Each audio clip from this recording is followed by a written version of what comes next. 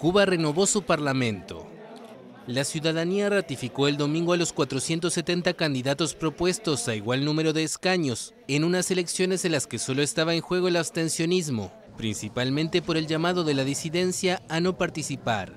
La presidenta del Consejo Electoral Nacional afirmó que de los 8.100.000 ciudadanos convocados a votar el domingo, acudieron 6.100.000, lo que representa casi el 76% del padrón electoral.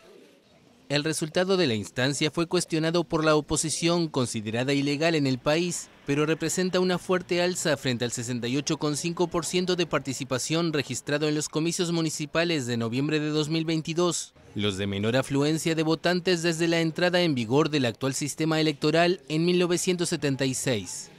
En las últimas semanas los candidatos, encabezados por el presidente Miguel Díaz Canel, realizaron una inusual campaña en el terreno en un país poco acostumbrado al proselitismo electoral para escuchar las demandas de los ciudadanos. En el singular sistema cubano, los electores tenían en la boleta apenas dos posibilidades, el nombre de cada candidato de su distrito o la opción voto por todos, lo que implica respaldar a los 470 aspirantes en conjunto. De acuerdo con la autoridad electoral, el 72% prefirió respaldar esta última opción y casi el 28% marcó en la boleta directamente el nombre de su candidato de distrito. El próximo 19 de abril, el candidato presidencial será elegido entre los diputados de la nueva Asamblea.